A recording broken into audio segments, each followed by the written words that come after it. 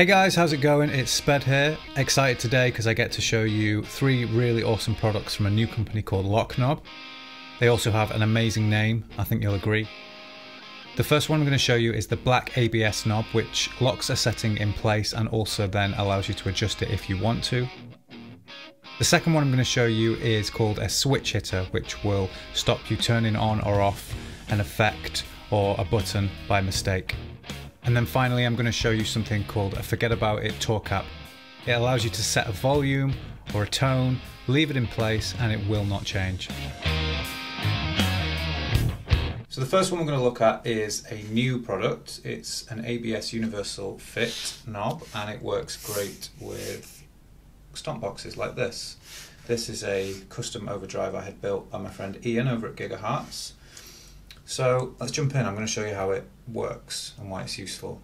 Let's say, you know, you found a sweet spot for your volume here and you don't want it to be disturbed, going between gigs, chucking your pedal board around or people messing with stuff, sound check.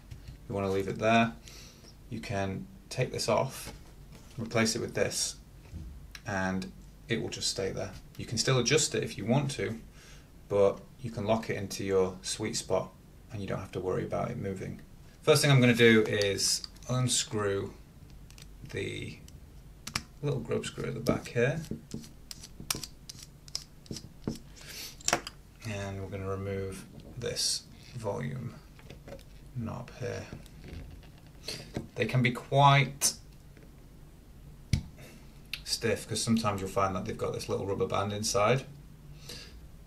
Um, yeah, but you can see in the packet that Loknob give you one of those as well. So I actually opened one before because I was messing around. Um, and you can see, just let me make sure I'm in focus. You can see that when you open up the label you get the instructions inside, every part, but it's pretty straightforward. So in the pack you get your little Allen key, you get that plastic sleeve, you get threaded ring, and you get your little knob. Let's face it, everybody wants a little knob.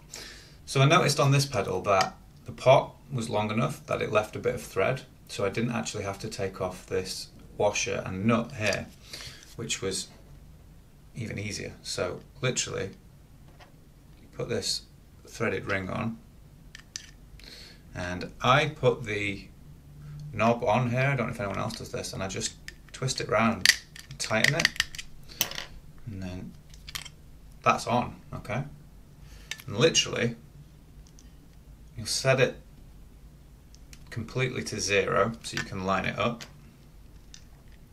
Line up your knob with all of your other ones, and then this is the fiddly bit. Using the little Allen key, we're gonna literally Maybe I could go in this way. We're literally just to tighten that up. All right.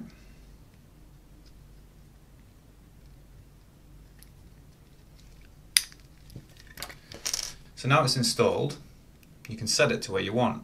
So when you pull up on it, you'll see that the knob lifts up and you can twist it. And I've twisted it to about 11 o'clock. And now it stays in place. These could be knocked or twisted and this one would stay still. I mean, if you really do twist it quite hard, you can click it, but now it has, you know, some staying power, which is cool. And you just pull it up and twist it, and you don't have to worry about your settings from night to night when you're playing shows or rehearsing.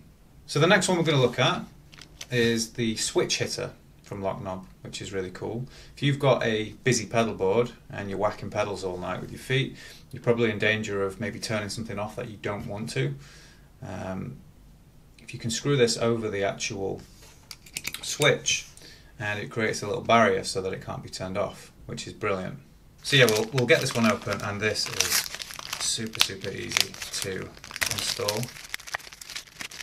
So in there, you literally get this and take your pedal. Let's say it was plugged in. You turn it on, screw this over, and if I had a hand that was a foot, can't press that switch. Really, really cool. This is starting to look like a modded gun from a game now. I love it. So let's just say your pedal doesn't power on when you power your board on every night, because some don't, some do. Um, you wouldn't have to take this off. Uh, you can still use your finger to switch your pedal on. Um, this will just stop anything bigger than that, which is cool. Okay, so before when we were talking about the ABS one, and we pointed out that you can leave it in place but it's still adjustable. Let's say you found your absolute sweet spot, okay, with your overdrive and you do not want to move it at all. You just want to maybe change the volume, room to room, venue to venue. They do something um, called Forget About It, a tour cap. And that will literally screw on after you've set um, your parameter and it won't move. So we're going to open this one up uh, and change our gain sweet spot, okay? Just for this demo, I'm going to leave it about there so it's easy for me to take this screw off, okay? In fact, actually, I could probably set it to about 2 o'clock. Pull that off. We'll assume it's in the right place. Okay. And we're going to open this. Now, like I said before, this pedal has enough thread because the pots are quite long. So we've set our volume here, but that's changeable. If this is your final setting, you can just screw this over the top and we cannot change our drive level anymore. We also can't turn the pedal on and off, but we can change the volume. Awesome, look at this.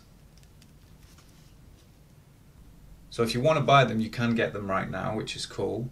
Um, places like Tour Supplies, Scan, Guitar Guitar are all doing them. And in terms of price, the first one that we put on, the ABS adjustable one, is 11.49. The switch hitter uh, is 10.99, I believe, and the tour cap that we put on last in the silver is 10.99 as well. So here we've got another awesome build from my friend Ian over at Gigahertz, and I'm just going to show you how to install one of the ABS um, knobs uh, where we take the washer off as well. It's so easy, it's just one more little thing. Um, I've already unscrewed this. I'm going to pull this off. To take one of these 10 mil attachment seems to work for me. And you don't need um, you can do it by hand. You don't need to put the rest of the, uh, the tool in. I'm saying tool because I don't know what it's actually called. Um, take the washer off as so. And then you are going to get your little threaded ring. Push that over. Now don't freak out like I did before thinking it doesn't fit. Just make sure that the little grub screw in the side is unscrewed a little bit. Um, and then it will fit. So you can push it down and then I use the actual um, knob itself to screw the ring in because it provides good grip all the way down. Twist it enough until it clicks and you've probably screwed it into place enough. Set it to zero and line it up with the other ones like so. And then um, you can tighten it up using your little allen key. There we go. If you weigh up the amount of time you spent messing around with your effects every night versus how long it took to screw that in I'm sure you'll save time in the future. So that's installed. Pull it up like we did before. Twist it. Let go. And it's set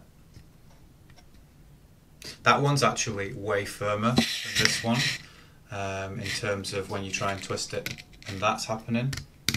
I would probably say if you've got the extra time and the tools, take the um, take the nut and the washer off anyway because that feels way better and it looks a lot neater as well. But that's the easy way, that's the slightly harder way, but they're both really easy and awesome products. Hope you enjoyed today's video. It's been fun making this little demo for you. Like I said, you can pick up these products now from places like Tour Supplies, Guitar Guitar, and Scan. I'll link them in the description below. If you want to thumb up this video, that'd be awesome. Don't forget to hit subscribe for more demos, covers, and reviews. And yeah, this company is great. I think they make really well made, useful products, and you're going to be seeing a lot more from them in the future. Alright, cool. See you in the next video, guys. Even though you didn't actually see me in this one, and I didn't see you. Yeah. Alright, bye.